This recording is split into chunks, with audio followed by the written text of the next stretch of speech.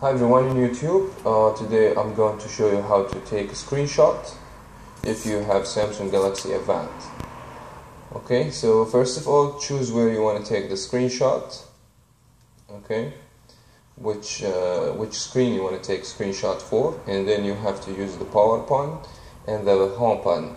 So all you need to do to push those uh, two buttons at the same time, and uh, automatically the phone is going to save the pictures like that. Here we go. In order to see what it was, you have to go to your uh, gallery and you should see the, the, the pictures there.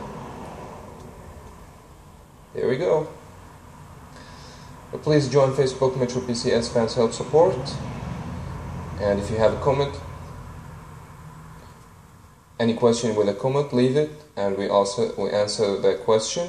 And thank you so much uh, for watching.